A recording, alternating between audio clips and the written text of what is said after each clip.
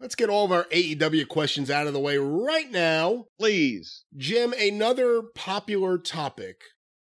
I don't know how much of this you've seen. I wasn't totally aware of everything. I'd heard whispers a while back, but we received a flood of emails. Whispers? Whispers? Whispers, stories.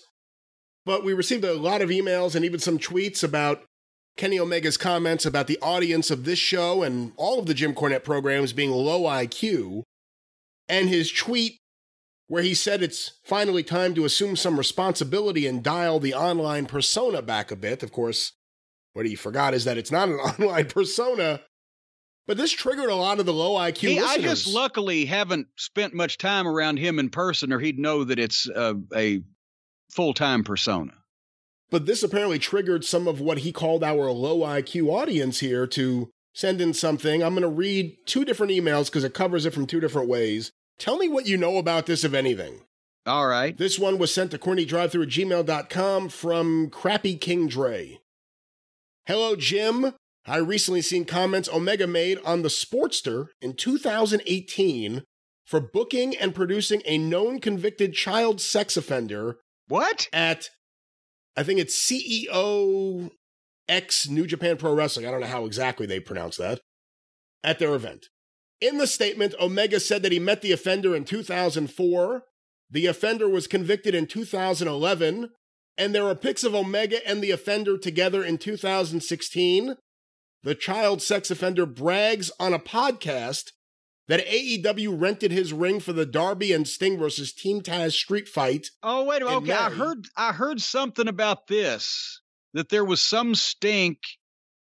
Uh, because they rented a ring from somebody who had a sordid past. I remember that from what was it? A couple of, well, not even a couple of years ago. No, well, this is They have been around that long. yeah. Well, that was a couple of years ago. The Darby and Sting match was just a couple of months ago. But uh, the But wait, no, wait a minute. This was a couple of. They rented a ring again from the same guy that people were complaining they rented a ring from before because he's a sex offender. Again, just based on this email, the quote is well, the quote. What the email says is the child sex offender brags on a podcast. AEW rented his ring for the Darby and Sting versus Team Taz pay per view street fight May 2021. Oh wait, the, was- that was that cinematic thing, right? Yes. Yes. So they just they this wasn't a show where they had to advertise anything or anybody had to be seen putting a ring up. It was over in the warehouse somewhere. So they called the offensive person and said, "Hey, send your ring over." Do you think Kenny Omega has a low IQ for constantly helping a convicted child sex offender? Hashtag AEW running a sloppy shop. And Jesus, no, I, th- I honestly, I think Kenny Omega just has a low IQ in general and is fucking dull witted and goddamn boring and fucking uh, a shitty wrestler. But you know, that's just my opinion. Well, again, a lot of people were triggered by Kenny's behavior online and started pointing to this. Another email here, cornydrivethru at gmail.com from Mike. Hi, Jim. Did you happen to notice the hypocrisy of one Kenny Omega on Twitter when he said you should, quote, assume some responsibility for the idiot fan running in on AEW? In 2018, he booked an actual sex offender. Do you want me to say the guy's name or not? Well, can we get in trouble, or is it public record? It's public record. I think then I think our hands are clean. an actual sex offender named Chasyn Rance. What a name. Chasing, ra- What a stupid name. At he's one cha- of his chasing, chasing fame. at one of his CEO times New Japan Pro Wrestling shows and certainly didn't take What any is a, wait a minute? What is a CEO times New Japan Pro Wrestling show? What now? Do they have o- Olivier actually booking spots? Oh, you know what that is? Is? Something. I think I know what it It's the computer electronics thing. Remember they did the match where him and the Bucks dressed up like video game idiots? Like they were in Street Fighter 2? Yeah. Yeah, that's what Oh, I remember seeing pictures of them. No, th- they did that on their TV. Yeah. I think I think that may have been one of these events, but So this is just so okay. So he's got a child sex offender at a video game convention. well, let me just bring up Why not give the arsonist a can of gasoline and a blowtorch? when this was first happening a few years ago, this quote here is from 2018, and people were getting on Kenny.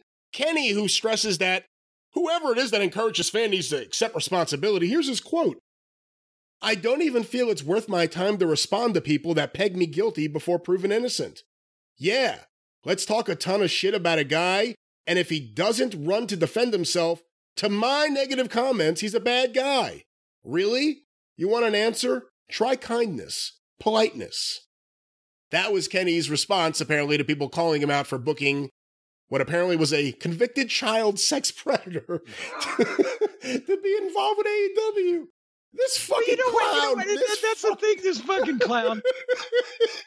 when he when he told me it's my fault and that I should dial my persona back, and I answered him, I don't have one because I'm not a phony fucking asshole like you are, dipshit. And uh, fuck off.